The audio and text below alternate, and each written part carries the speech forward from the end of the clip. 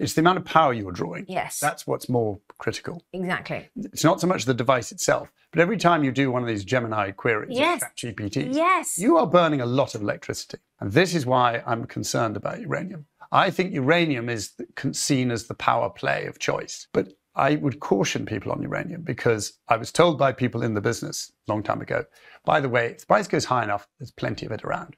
There's no shortage of uranium, masses of it. It's not rare, it's not scarce.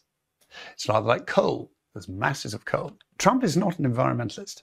He's not. He has always said, by us not using coal, we give China an advantage because, hey, they use coal. And by the way, emissions don't just sit over one country, by the way. You know, so there's not much point in you turning off your coal if your neighbor's burning it. There's no difference. Hmm. So I think if we have a power crunch, which California is the first to show this, they're actually talking about it, uranium, it takes too long to get there. For all the nuclear plants you want to bring on, we're not going to have that power for five to 10 years.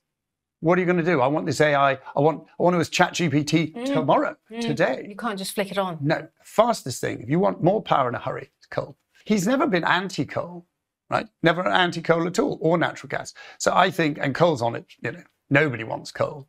So I think that could be a bit of a contrarian buy.